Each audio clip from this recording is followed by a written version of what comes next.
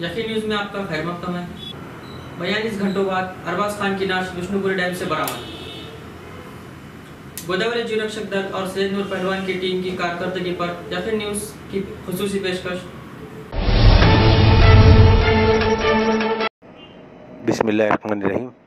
गोदावरी जीवरक्षक दल और उसकी टीम के मेम्बरान गुज्तर 20 सालों से गोदावरी नदी में और उसके अलावा दिगर मकामत पर पानी में डूब जाने वाले अफराद की डेड बॉडी और ज़िंदा बचाने का काम करते आ रहे हैं।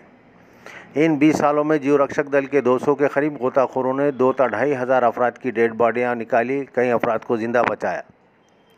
उनकी इस इंसानियत नवाज़ खिदमत के मद्देनज़र रियासती गवर्नर से लेकर मुकामी तहसीलदार तक ने जीव रक्षक दल के खिदमत के इतराफ़ में एजाज़त से नवाजा। लेकिन इनको माली तौर पर कोई मदद नहीं दी गई। म्यूनसिपल कॉरपोरेशन की जानब से साल में तीन मरतबा, यानी गणेश विसर्जन, दुर्गा विसर्जन और ताजियों को ठंडा करने के वक्त तक जीव रक्षक दल के खुदाखोरों को फ़ी कश ढाई से तीन सौ रुपये का मुआवजा देते हैं। वो भी इनको वक्त पर नहीं मिलता। जीव रक्षक दल के सैयद नूर पहलवान ने यकीन न्यूज़ को बताया कि म्यूनसिपल इंतज़ामिया या ज़िला इंतज़ामिया की जानब से उनको एजाजिया के तौर पर माहाना मशायर के तौर पर उनको खुद दिया जाना चाहिए। इसके अलावा कश्ती, ऑक्सीजन भी अगर मुहैया कराया जाता है तो ये काम में मज़ीद तेज़ी आ सकती है। यहाँ इस बात का तस्करा भेजाना होगा कि म्यूनसिपल इंतज़ामिया के पास गोताखोरों की कोई टीम मौजूद नहीं है और किसी भी हादसा से निपटने के लिए गोदावरी जीव रक्षक दल ही जिला इंतज़ामिया और म्यूनसिपल इंतज़ामिया की मदद को पेश पेश रहा है।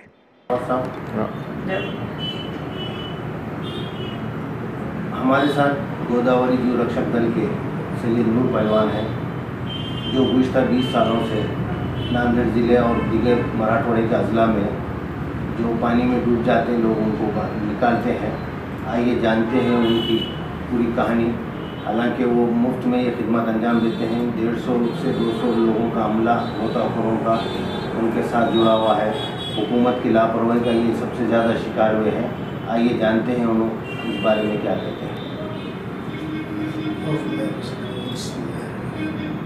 सबसे पहले मैं अल्लाह ताला का शुक्रिया अदा करूँगा कि अल्लाह ताला ने मुझे ये फ़ील्ड दिया है स्विमिंग की और दूसरी बात ये है कि हमारी जान पे खेल के हम लोगों को बचाते हैं। मुझे बीस सालों से ये काम करते हैं जो रक्षक का। लोगों को बचाते हैं पानी से निकालते हैं। आप बीस साल से ये काम करते हैं। हुकूमत की तरफ़ से आपको क्या इमदाद मिलती है या हुकूमत के मुलाजिम हुकूमत के मुलाजिम ने हुकूमत से हमको ऑर्डर दे दी है। गणपति देवी मोहरम दादा विसर्जन इसके लिए हमको सिर्फ़ तीन सौ रुपये दिया जाता है, जबकि तीन सौ रुपये में एक मामूली लेबर भी नहीं लेता है। चौबीस घंटे हमको सवेरे सात बजे से लेकर रात के दो बजे तक हमको जब तक विसर्जन खत्म नहीं होता, हमको वहाँ स्पॉट पर रहना चाहिए। हम रहते हैं और हमारी पूरी टीम पूरे घाट के ऊपर बंदोबस्त करती है। मूर्ति, पानी में ले आके विसर्जन करती है। हमारे, हमको काम का हमारा माहिदा नहीं मिलता है। मेरी प्रशासन से यही गुजारिश है कि ज़्यादा से ज़्यादा हमारे लोगों को रोजी रोजी दें। सैयद नूर और उनके अमले ने गुजतर बीस साल में तकरीबन ढाई से तीन हज़ार तक पानी में डूबे हुए लोगों को बाहर निकाला, उनकी डेड बॉडियों को बाहर निकाला, कुछ जानों को बचाया भी। उसके बावजूद भी हुकूमत इनको कोई मुआवजा नहीं देती, बल्कि इनको सिर्फ़ तीन मौके पर गणेश विसर्जन, दुर्गा विसर्जन और ताजिए के मौके पर बुलाती है और सिर्फ़ तीन सौ रुपये देती है, और वो भी पैसा उनको जल्द नहीं मिलता। हालाँकि ये लोग एक फ़ोन पर अपनी खिदमत अंजाम दे देते हैं और उसके बाद अभी गुजतर रोज़ विष्णुपुरी में बच्चा डूब के मरा। तीन दिन के बाद उसकी आज डेड बॉडी निकाली गई।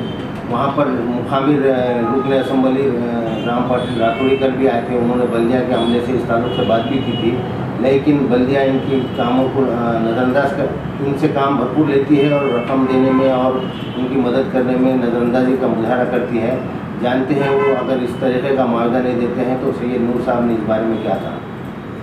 हम लोग हमारी जान पे करके काम करते हैं, हमको उसका मुआवजा, हम काम करने के बाद भी छः छः महीने साल साल हमको घूमना पड़ता है कि सर हमारा पेमेंट कराओ, ये सर हमारा पेमेंट कराओ। हम इतना करके हमारा कोई पुरसान हाल नहीं। अब देखते हैं उनके सारे वीडियोस जिसमें उन्होंने अपनी जान पे खेल के लोगों की जिसमों की डेड बॉडियों को, जिसमों को बाहर निकाला, कई लोगों की जान बचाई। बहुत शुक्रिया। लखीम न्यूज़ के स्टूडियो में आए। शुक्रिया।